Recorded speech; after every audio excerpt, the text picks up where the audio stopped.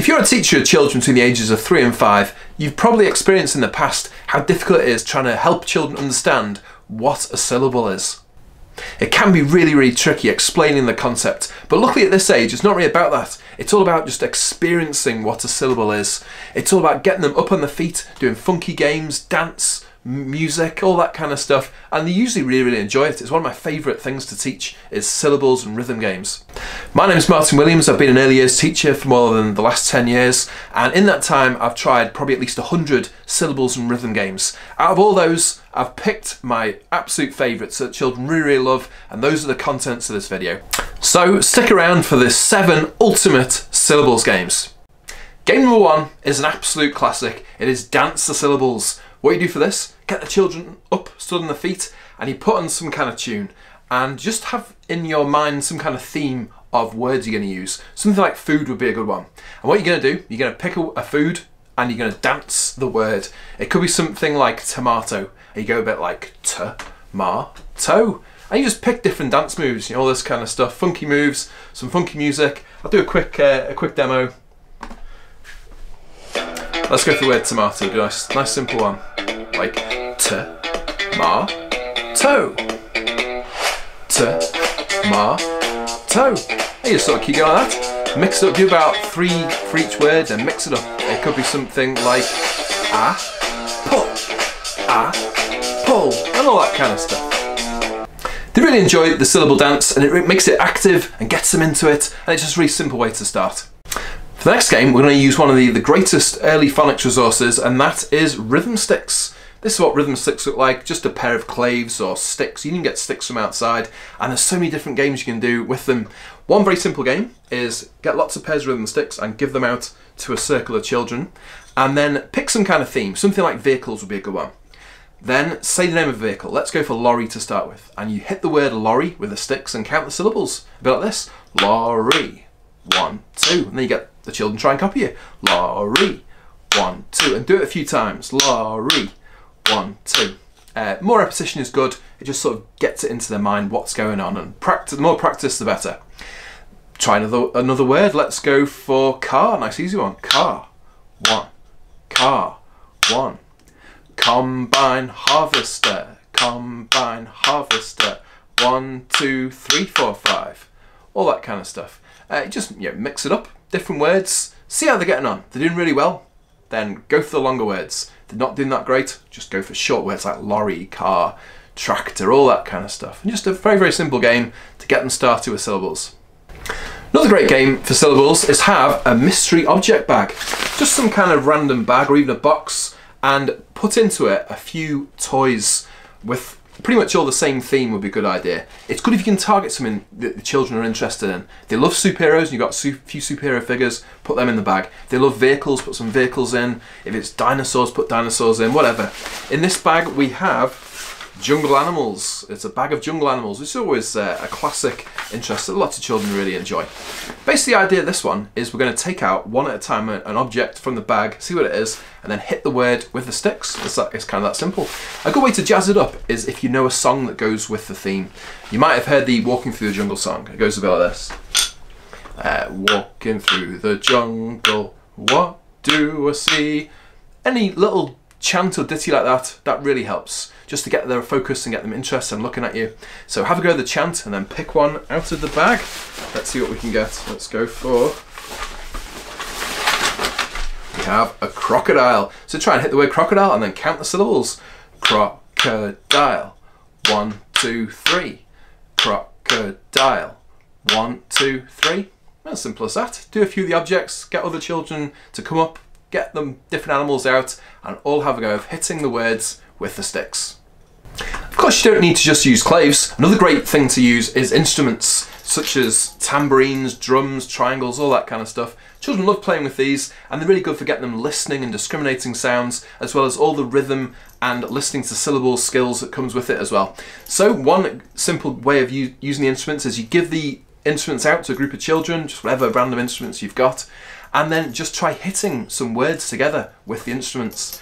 Once again, it's nice to pick a theme. Let's go for food, for example. I'm just going to hit the names of some food on the instruments and the, and the children are going to copy it. It's like a call and echo kind of game. Like you might go tomato, and they're going to try and copy tomato, cucumber. They try and copy cucumber, yogurt, yogurt, and all that kind of stuff. You can make it trickier if they're doing really, really well. Make the uh, the words longer or put a few foods together. It could be something like mango and cucumber, mango and cucumber, and all that kind of stuff. So see how they're getting on and just expand as you need to. Stories are one of the best ways of teaching pretty much anything to young children. It gets them really listening, it gets their brains whirring, that's exactly what you want. And syllables can be taught through stories and it's one of the best ways of doing it. Uh, this is my number one way of doing it. What you do, get the children to sit in a circle, give out pairs of these claves, or you could use instruments as well, that would work great. And then what you do, you just make up some kind of story. But in the story, there's lots of sound effects. And when you get to the sound effects bit, uh, the children hit the sound effects and they say the words. And all the sound effects will have either one or two or three or four syllables in each word. It could be something like a little mouse going squeak, squeak, and they go a bit like squeak, squeak, squeak, that kind of stuff. Which obviously that you know, the word squeak just has one syllable in it. It could be something like the wind going whoo, whoo, woo, or something with just two syllables. It could be something you know an old witch is knocking on the door and going rat a tat tat, rat a tat tat, which has four syllables. And so it's just a nice way of just breaking up words for a bit of a purpose as well. Um, you just make up, I'm just going to, I'll make up a little random story for you now. It's a bit of an example. It's about a bear, a massive bear that woke up in a cave one day and went stamping across the cave. Stamp, stamp, stamp, stamp. He got to the door when he heard an old witch knocking on the door. Rat-a-tat-tat, rat-a-tat-tat. He swung open the door. There was the witch. Behind her, the terrible wind was blowing. It was going hoo woo, hoo woo, and all this kind of stuff. And just get the children all joining in. Uh, if they can think of their own ideas and get, you know, other characters into the story and all that kind of stuff, fantastic. That really brings it to life. The more random, the better for all these kind of stuff, things. And just, yeah, hitting the words, getting rhythm and syllables, and just understanding how it all works. For many children, making things active and physical is definitely the best way to go. And so this game is great for any children you've got like that, that love action, physical stuff and all that kind of thing. It's using Play-Doh to hit syllables and it's a good splat the dough kind of game.